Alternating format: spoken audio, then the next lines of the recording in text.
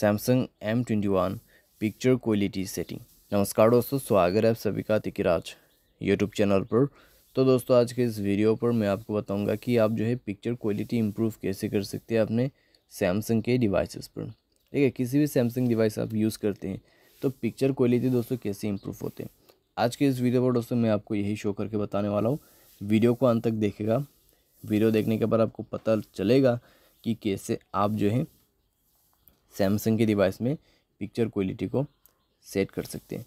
Video शुरू करने से पहले दोस्तों, अगर आपने चैनल को सब्सक्राइब नहीं किया है तो सब्सक्राइब करते हुए बेल आइकन को क्लिक करें और अगर आप ऑनलाइन पैसा कमाना चाहते हैं तो वीडियो डिस्क्रिप्शन पर आपको लिंक मिल जाएगा। चलिए दोस्तों वीडियो शुरू करते हैं। तो दोस्तों, सबसे पहले तो आपको कैमरा ओपन कर लेना है, ठीक है? उसके बाद दोस्तों, ये होगा आपका इंटरफेस तो नेक्स्ट पे दोस्तों, आप जाइए अपने मोबाइल की सेटिंग पर। सेटिंग पर जाने के बाद दोस्तों, ये जो मोड है H E I F pictures ठीक है, यहाँ पे आप देख सकते हैं। तो इस मोड को ऑन कर देना है। ठीक है, इस मोड को ऑन कर देना है। इससे क्या होगा दोस्तों?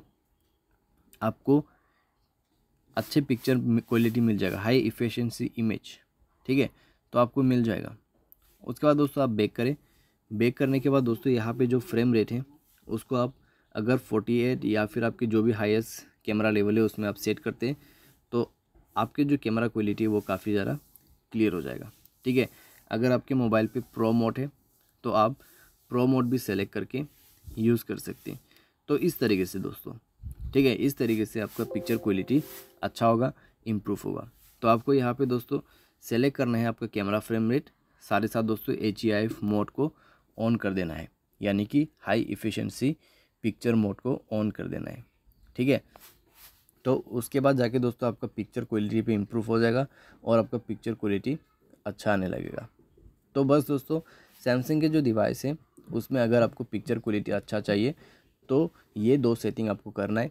और आपको पता ही है कि सैमसंग के जो कैमरा रहते हैं, वो डिसेंट कैमरा होते हैं। ठीक है, कई सारे सैमसंग के जो कैमरा होते हैं, वो डिसेंट कैमरा होते हैं।